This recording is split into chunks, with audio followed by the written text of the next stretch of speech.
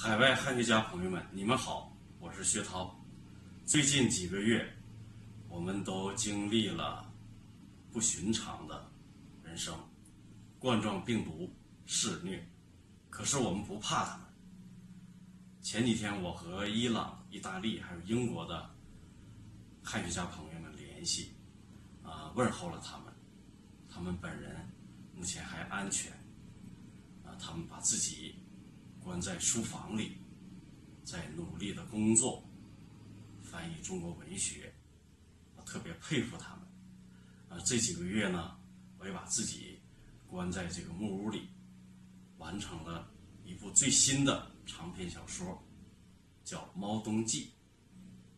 我相信，在不久的将来，我们还会在那些国际书展见面，我们还会像从前一样畅谈文学。